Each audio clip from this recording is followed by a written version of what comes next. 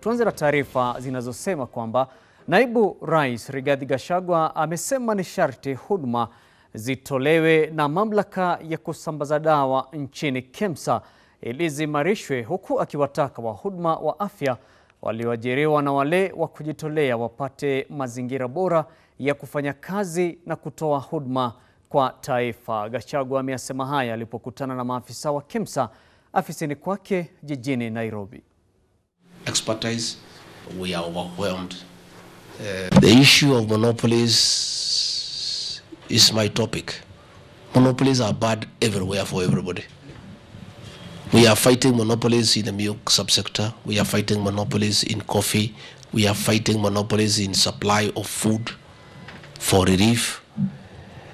And monopolies don't work because people become exploitative and it also is a breed for corruption. So this is something that we must discuss and very honestly. Uh, how do we open up that space?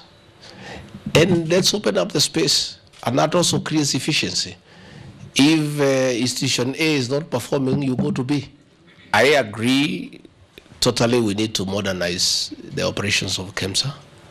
This is a new world. We can't do things the way we were doing them 30 years ago. We have to keep up with the times. We have to embrace technology. We must leverage on technology so that we are in tandem with the modern world. I want to make an appeal to our partners uh, to support our intervention at level one. The community health volunteers. This is way to go.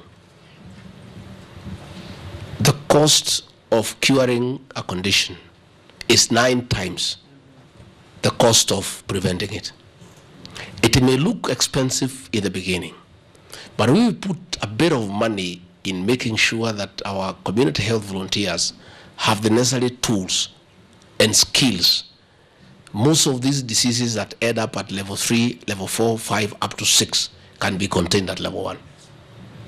And I am amazed by the community health volunteers. As member of parliament, wherever I went for a wedding, they were there. Wherever I went for a funeral, they were there.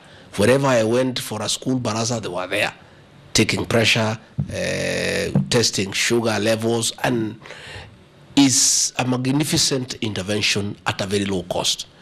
I'm making a special appeal to our development partners to consider to partner with the government to provide more equipment to the community health volunteers as a long-term measure of bringing down the cost of making medical interventions.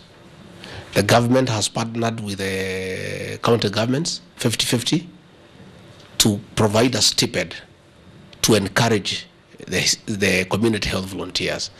And I think the intervention at that level, the projections we have been given by our economic experts, in five years, we can bring down the cost of treatment to almost half.